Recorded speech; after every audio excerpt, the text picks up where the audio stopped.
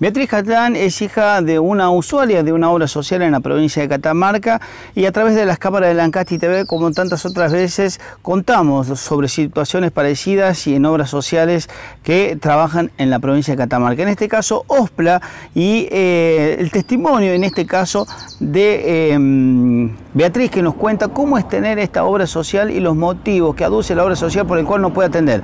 Obras en, la, obras en el casco céntrico y no tener sistema para emitir órdenes. Así nos cuenta Beatriz cómo es tener OSPLAT aquí en Catamarca.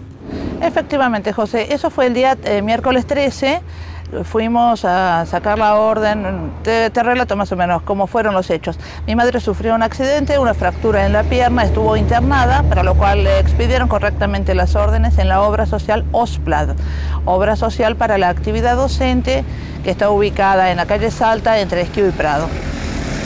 Eh, con las órdenes de internación no tuve el menor problema, me las expidieron manualmente. Ya en ese momento fueron otros afiliados y se negaron a venderles órdenes de consulta común. Yo estaba sentada ahí esperando debido a una falla de sistema y la empleada que estaba ahí dijo que estaban de paro o de media jornada porque les habían depositado la mitad del sueldo.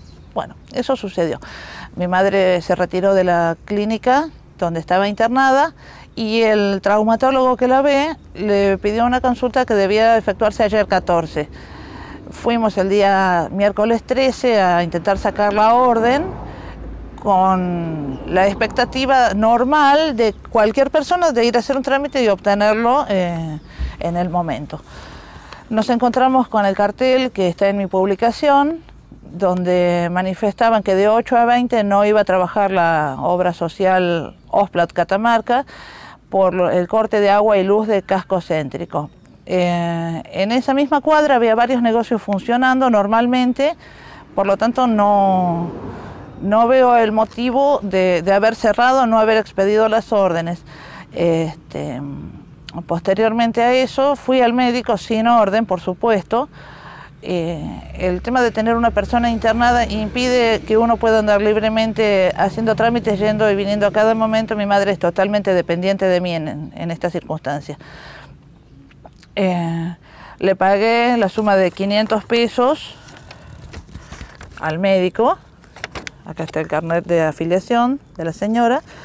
Eh, y esta mañana llamé para que me informen si me iban a poder hacer un reintegro debido a que eh, la falta de orden o de no haberle presentado la orden al médico no fue por negligencia mía, sino porque no la pude comprar porque ellas no la vendían debido, ellas o ellos, no sé, a que este, la boca de expendio se encontraba cerrada el día miércoles por ese motivo.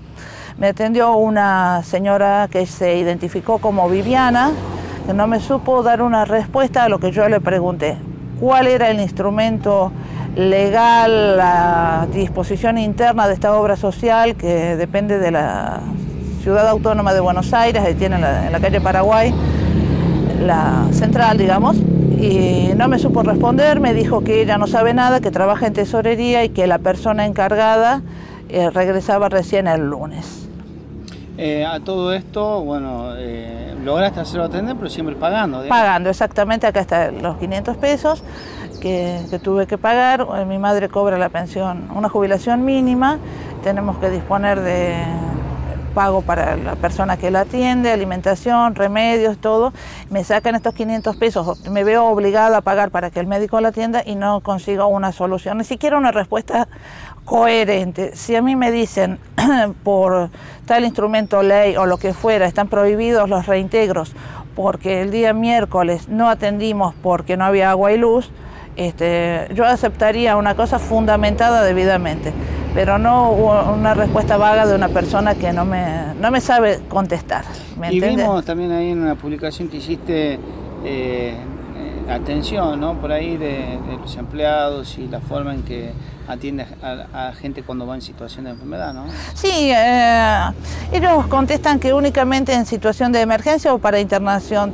Eh, una persona jubilada que va, o un docente o quien va, no va a pasear a la obra social, va porque realmente necesita. Y podríamos poner un poco más de buena voluntad, de mm, tener más empatía con la persona que finalmente nos está pagando el sueldo.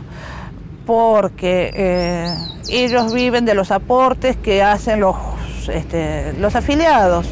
Eh, por lo menos tengamos un poquito más de decoro y de, empatía, como le decía José.